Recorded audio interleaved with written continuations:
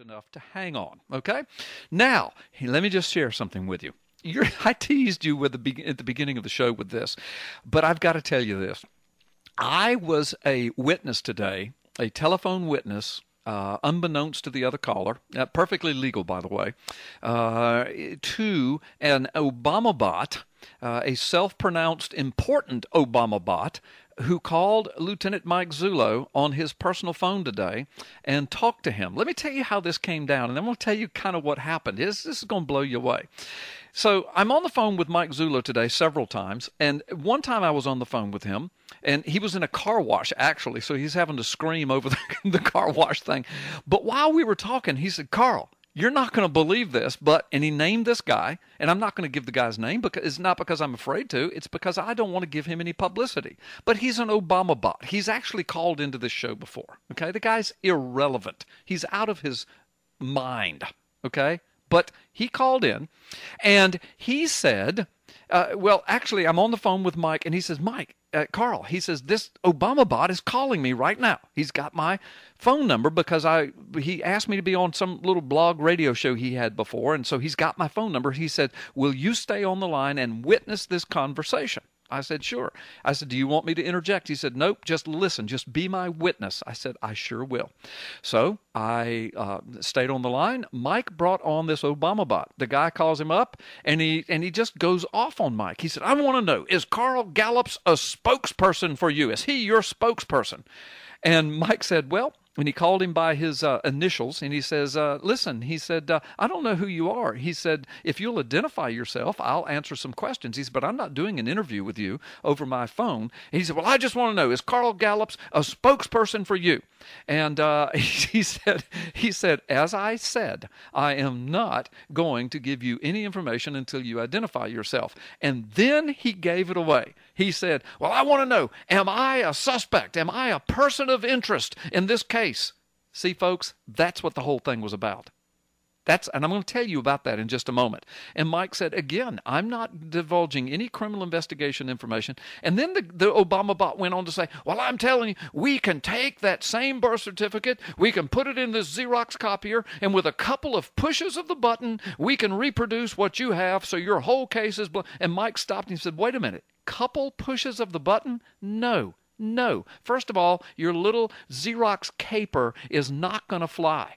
It's not going to fly. It's all a ruse. It's all a sham. And then Zullo went on to say, and besides, eh, we're not talking about a couple of pushes of a button. We're talking about putting a birth certificate in a machine, pushing the button once to produce it in a digital file to put on the internet.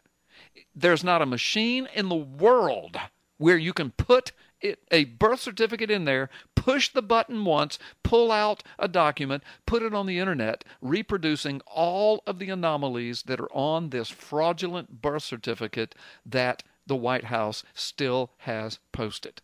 Well, the Obama bot went completely ape, started calling Zullo all kind of names, getting ugly, obscene, using profane language. Uh, Zullo was the consummate professional, kept us cool. Uh, you could he- hear Zullo kind of raising his voice a few times. It was because he was in a car wash. I knew that. I don't think the Obama bot did, but uh, but professional, never cursed, never uh, belittled the guy, never said anything ugly to him. Just answered his questions, but basically told him, uh, "Not going to talk to you unless you identify yourself."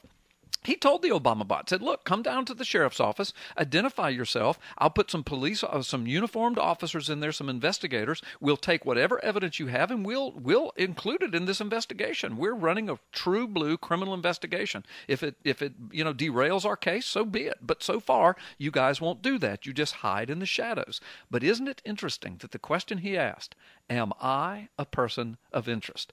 Now if you'll go to PP Simmons, go to carlgallups.com, click on the link in the middle of the page that says PP Simmons' latest videos. Go about one, two, three, four, five, six, seven. The seventh video down is entitled Obama Bots Now Suspects. Obots going crazy over the Obama fraud case. There's a PP Simmons radio piece that I did there revealing the fact that one of the latest developments in the Arpaio case is that uh, the and I got to be careful what I say here, but the investigation is now pointing to some people of interest who are known Obama bots, and they have been doing deep investigations on these people, and they've discovered some amazing ties across this land to some very important people. And that's all I'm going to say right now. Amazing uh, here before unknown ties.